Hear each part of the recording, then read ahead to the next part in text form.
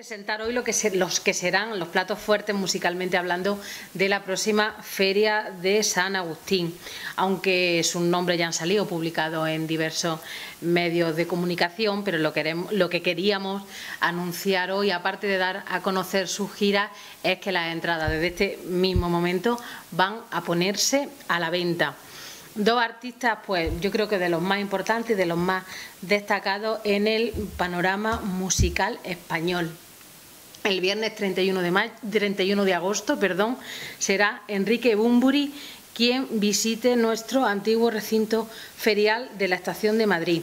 Bumburi es uno de los pocos artistas que pueden presumir de haber sobrevivido con gran éxito a la ruptura de un grupo especialmente famoso como era Héroes del Silencio. Él ya era la voz de ese grupo con tan solo 17 años y cuando el, cuando el grupo desapareció, la banda se disolvió en el año 96, Enrique Bumburi ya era toda una institución y sin duda ha demostrado a lo largo de todo este tiempo su capacidad para reinventarse.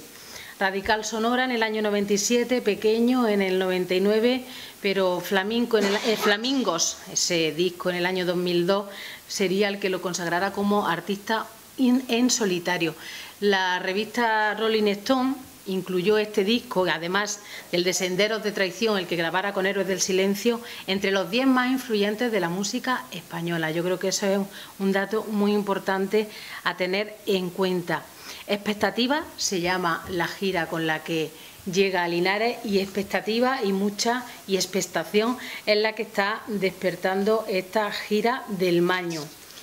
Y el sábado, 1 de agosto, será Antonio Orozco, también una persona absolutamente conocida y reconocida en el panorama musical español.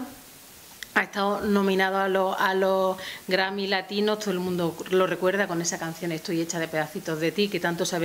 ha, tanto se ha versionado y que tan famoso lo ha hecho. Consiguió un Onda al mejor artista en directo sus puestas en escena son dignas de mención y sus conciertos absolutamente atractivos y será con el Tour Destino con el que llegue a Linares, con este último disco que está eh, que le está reparando también y cosechando tantos éxitos con los temas como, como Mírate, como Hoy será o como Mi héroe, que tanto y tanto están sonando en todas en todas las radios nacionales y las de, América y de América Latina en los últimos meses. Así que son dos platos fuertes, como decía. Hoy las entradas se ponen a la venta y esa era eh, la noticia destacada, decir que toda esa legión de seguidores que tienen tanto uno como otro, a partir de este momento podrán hacerse con ella.